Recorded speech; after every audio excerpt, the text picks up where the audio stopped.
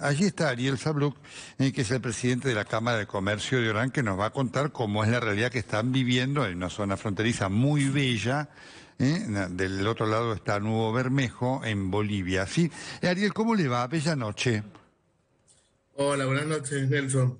Un gusto La tenerlo. verdad que, Cuéntenos. perdón, lo escucho. La verdad que la situación que se vive acá en la frontera hoy es un descontrol total, ¿no? Eh, desde, desde Bolivia, que cruza la- los bolivianos a hacer compras, a arrasar Ajá. con lo que es alimentos, eh, artículos de limpieza y los tours de compra que llegan de todo el país de, eh, para cruzar a Bolivia a hacer compra de lo que es textiles. Mira. Hoy eh, el, el puente internacional está cerrado porque está en obra, no porque la frontera esté cerrada, y todo se da a través del río, ¿no? Cruzan. Cruzando por Calama o Gomones. Qué bárbaro, qué, qué impresionante eso. Eh, ¿Usted tiene más o menos idea de la diferencia de precios? ¿Se los dicen ellos lo que acá en Bolivia pagamos 10? ¿Cuánto lo pagamos en lo pagan en Argentina? No tengo, no tengo una diferencia de precio, pero sí te das cuenta con el cambio. Ajá. Imagínate que eh, con 100 pesos argentinos, con dos bolivianos eh, tenés 100 pesos Qué argentinos. bárbaro. Qué bárbaro. Así qué- que ahí te das cuenta. Y acá este, ellos, los mismos bolivianos, cambian en su país su propia moneda, cambian por pesos argentinos y vienen a gastarlos acá. Correcto. ¿Y allí, eh, o sea, pagan en pesos argentinos o también eh, les toman bolivianos, eh, Ariel? Acá los comerciantes, en to- en todos los comercios pusieron, recibimos pesos bolivianos, Ah. pero el boliviano no trae pesos bolivianos acá. Ah. Este, no, no nos acerca directamente el peso boliviano, viene con pesos argentinos porque trata de sacárselo de encima.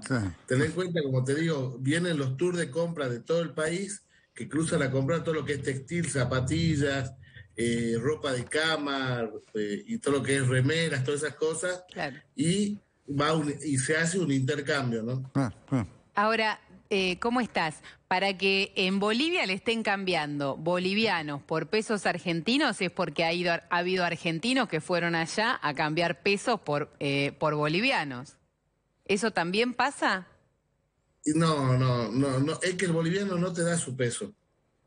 Pero a cambiarlo en una no casa de cambia. cambio, digo. ¿Cómo se hacen Vas a una casa de cambio y no te lo cambian, Ah, no te lo mirá, cambian. ¿Qué no lo aceptan. Es, es no lo aceptan y es mucho, eh, eh, o sea, ellos te aceptan para hacer compras.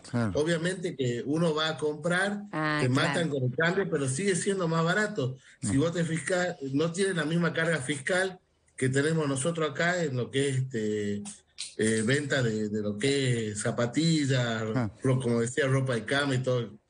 Claro. Mm.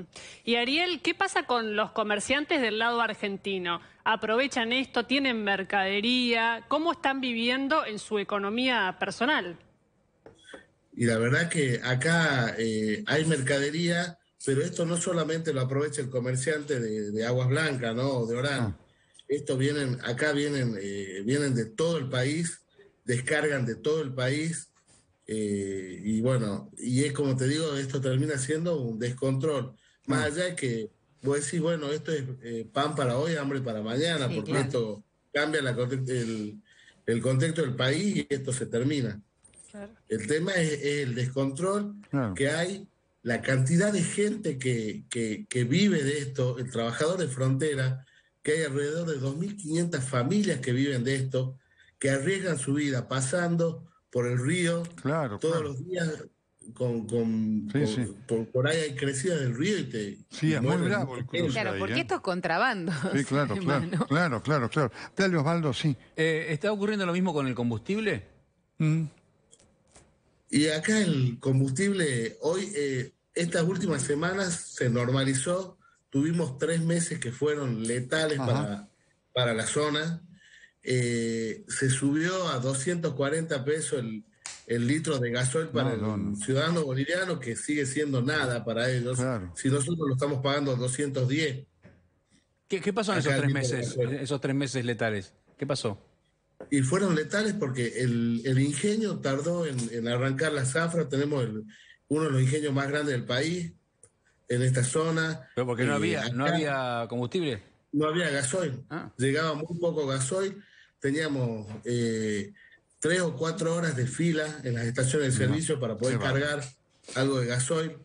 Y la verdad, este, y, y lo peor de todo es que se veía pasar los camiones, cisternas con patente boliviana, eh, con cargas de gasoil. Claro. Todo, acá todo el mundo me decía, no, estos camiones vienen de Venezuela y pasan a, a- a Bolivia.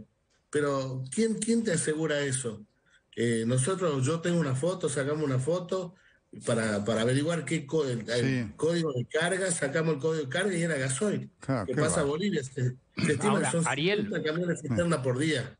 Ahora, Ariel, en, en esos cruces no hay ningún tipo de control de nada, porque uno puede entender que se compran unas cosas básicas, pero leíamos, escuchábamos que, por ejemplo, se llevaban cerveza de acá, de la Argentina, a, a Rolete para allá, packs de Aceite. cerveza, digo, eh, whisky, Ah. eh, digo, cosas que no son básicas. Digo, ¿no hay ningún tipo de control en esos cruces? Lamentablemente es muy bajo el control que, Ah, claro. que hay. Acá para poder controlar ese río y esa frontera necesitas un ejército prácticamente. Y es muy complicado. La verdad que es- es- la situación es muy complicada. Te repito, 2.500 familias que viven de eso. Claro. Y para poder frenar eso tenés que dar trabajo a 2.500 familias. ¿Entendés? Orán, el departamento Orán es una zona muy rica del país, se Sí. produce y se exporta muchísimo desde acá. Pero ¿qué pasa? Si no generas empleo, es muy difícil que se pueda terminar con todo esto. Correcto. Ariel, muchísimas gracias eh, por esta pintura de la realidad que se está viviendo allí en la frontera entre Argentina y Bolivia, entre Aguas Blancas y Nuevo Bermejo. Muchas gracias. No, gracias a ustedes, por favor.